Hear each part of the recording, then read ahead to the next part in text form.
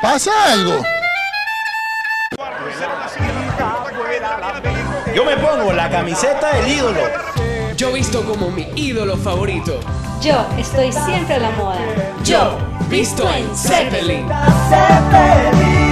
Yo también visto en Zeppelin.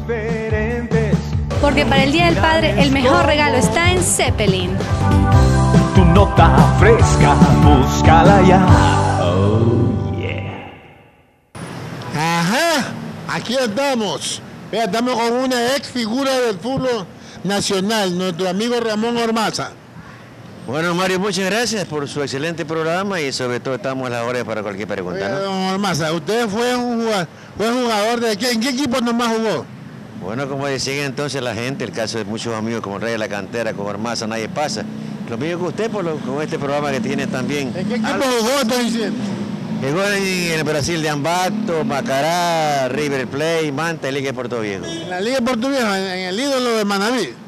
Cuando Liga se hizo ídolo en ese entonces porque nadie eh, había tomado la idea, ni la iniciativa que este equipo que se fundó y si consiguió la clasificación en 1969 tuviera tanto éxito y se convirtiera en el equipo ídolo de Manaví. ¿no? ¿Con quién nomás jugó usted? ¿Con su- ¿Cuáles fueron sus compañeros? Los más destacados.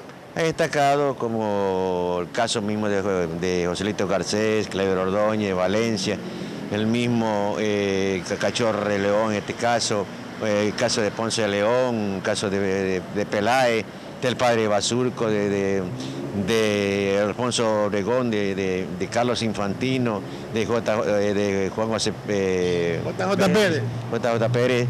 No, ese no, me refiero a Juan José Bagnera y también del peruano eh, Delga- eh, Delgado, que era un número 10 estupendo acá en Liga de Puerto Viejo. ¿no? Todo eso significa mucho, por eso era la salprieta, por eso le llaman la capira, dicen mucho. Vitamina de olla, como decía el rey de la cantera. Aunque Liga no se formó como la capira, sino Liga Deportiva Universitaria Bueno, un Deportiva. saludo para todos sus admiradores.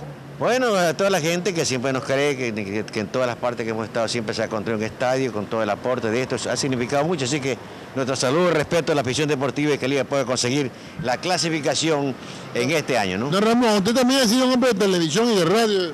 ¿Qué canal tra- ha trabajado He usted? trabajado en Buenavisión, he estado todavía en Canal 30, Televisión Maravilla.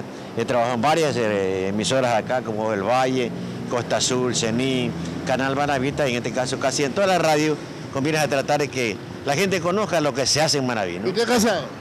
Claro. Mándele un saludo a su esposa, ¿cómo se llama? Glory Ceballos. Acá mándele un saludito. Un saludo especial a mi esposa, sí, muchas gracias, así que por toda para usted, mi amor, esa dígale. Facilidad, Para usted, mi amor, dígale. con esa facilidad. Dígale a la ¿verdad? señora un besito para usted, mi Ella amor. ya sabe, ella Pero sabe. dígaselo ahí para que Sabe vea. que soy un hombre A vinculado a todo lo que es cariño, amor y en el deporte, así que mi salud y respeto ver, para mi dígale. señora, ¿no?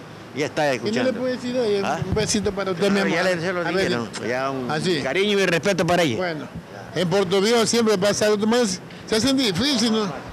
Don Ramón, chévere, don Ramón, chévere.